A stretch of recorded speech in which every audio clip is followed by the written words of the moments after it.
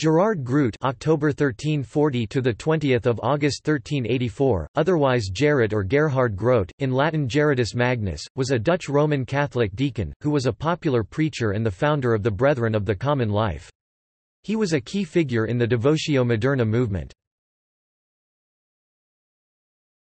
Topic. Biography. Topic Topic: Birth and education. Topic: He was born in the Hanseatic city Deventer in the bishopric of Utrecht, where his father held a good civic position. He studied at Aachen, then went to the University of Paris when only 15. Here he studied scholastic philosophy and theology at the Sorbonne under a pupil of William of Ockhams, from whom he imbibed the nominalist conception of philosophy. In addition, he studied canon law, medicine, astronomy, and even magic, and apparently some Hebrew. After a brilliant course, he graduated in 1358. In 1362, he was appointed teacher at the Deventer chapter school. In 1366 his admiring countrymen sent him to Avignon on a secret mission to Pope Urban V. Topic. Religious life Topic.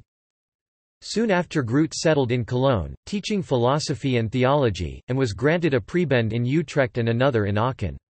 The life of the brilliant young scholar was rapidly becoming luxurious, secular and selfish, when a great spiritual change passed over him which resulted in a final renunciation of every worldly enjoyment. This conversion, which took place in 1374, appears to have been due partly to the effects of a dangerous illness and partly to the influence of a fellow student, Henry de Calcar, the learned and pious prior of the Charterhouse at Monnikenhuizen near Arnhem, who had remonstrated with him on the vanity of his life. In 1374 Groote turned his family home in Deventer into a shelter for poor women and lived for several years as a guest of a Carthusian monastery. In 1379, having received ordination as a deacon, he became a missionary preacher throughout the Diocese of Utrecht.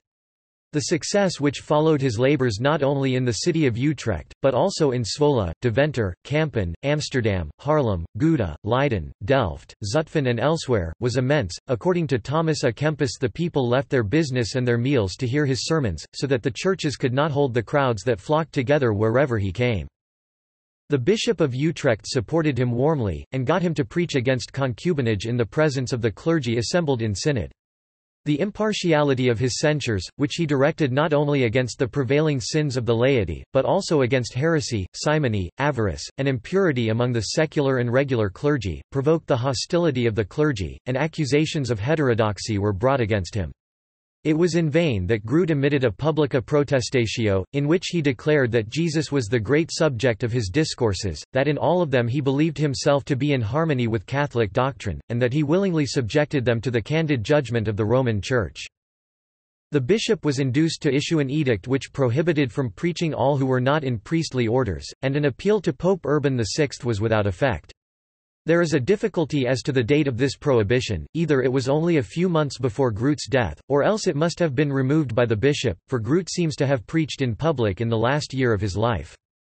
At some period perhaps 1381, perhaps earlier he paid a visit of some days' duration to the famous mystic John Ruysbroeck, prior of the Augustinian canons at Groenendael near Brussels. During this visit was formed Groote. S attraction for the rule and life of the Augustinian canons which was destined to bear notable fruit.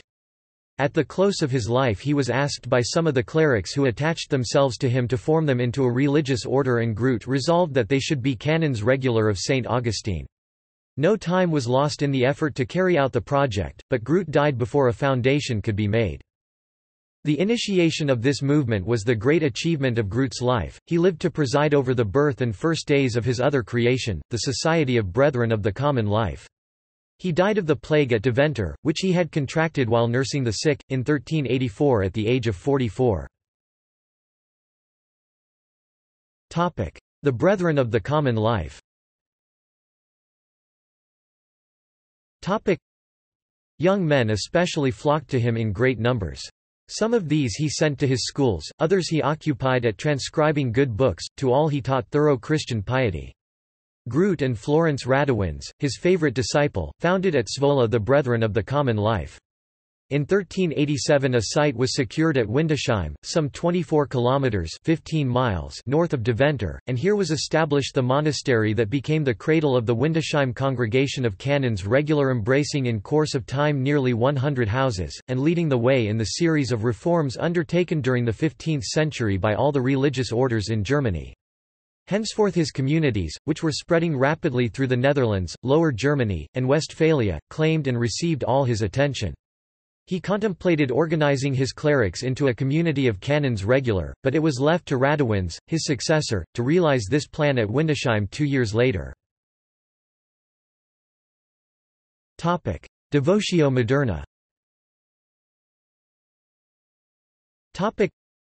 a movement known as the Modern Devotion Devotio moderna was founded in the Netherlands by Groote and Florens Radewins, in the late 14th century.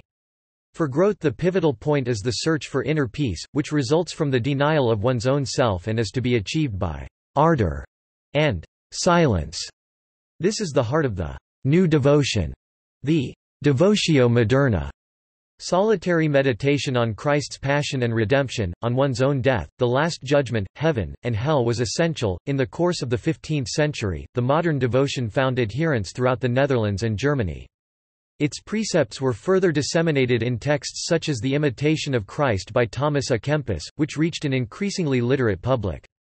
In this context small works of art such as diptychs that provided a focus for private worship enjoyed wide popularity. Legacy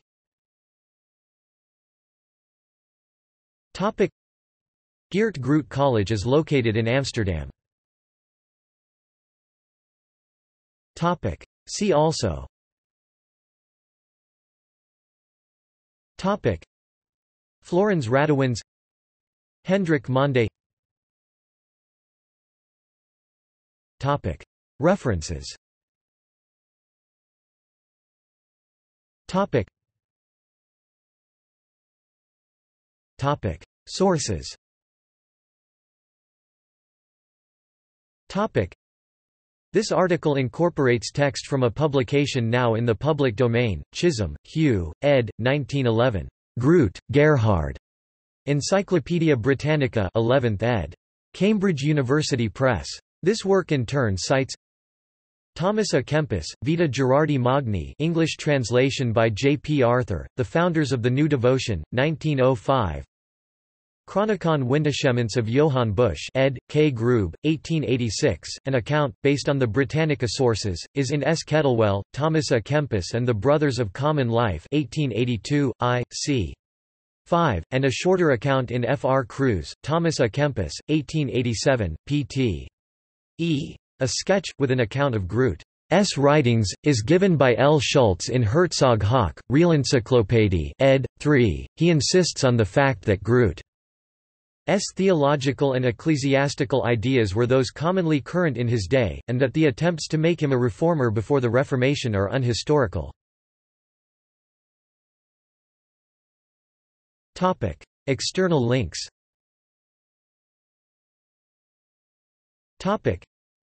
History of the Christian Church, CCEL